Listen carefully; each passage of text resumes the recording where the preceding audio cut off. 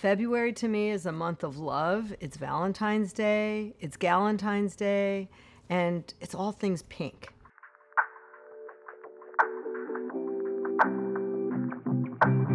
So, Valentine's Day or February for me is always about romantic beauty, and I always think pink. Pink just makes you look pretty.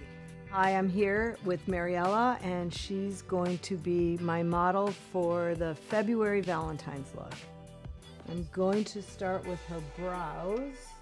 This is the brow shaping scissors and brush. This comes in a little kit, and the way to use it is to brush up your brows and for those of us or those of you that have crazy eyebrows that are really long, you use the scissors to get rid of any uneven length. And by the way, these are great for guys. I don't know if you guys know this, but when I got married, my wedding ring is rose gold. So February is also about rose gold. And what I love about these tools is you can actually get a rose gold slanted tweezer and a rose gold eyelash curler. You have to tweeze as the hair grows, not against it, and clean up under the brows.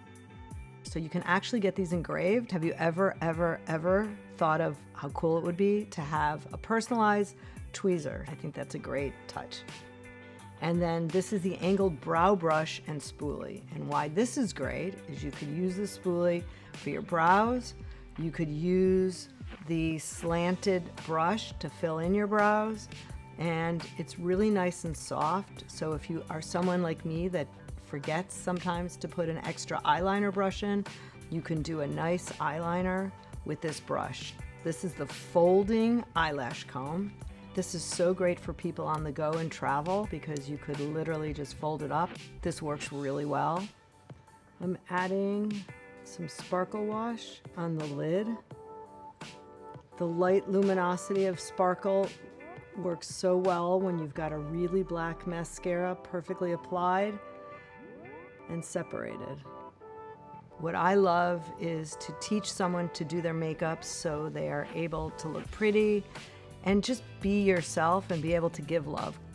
And it gives really party ready, romantic dinner ready, perfect for Valentine's Day. She looks pretty pretty, huh guys? Great. These makeup remover pads, which are both eco-friendly, washable, work really well for blending and I'm really excited about this. These are the reusable makeup remover pads. Now, they're eco-friendly. They will clean your makeup off. I use it with the cleansing oil. They come with this neat little bag. You throw it in your washing machine. You never have to use a disposable cotton round again.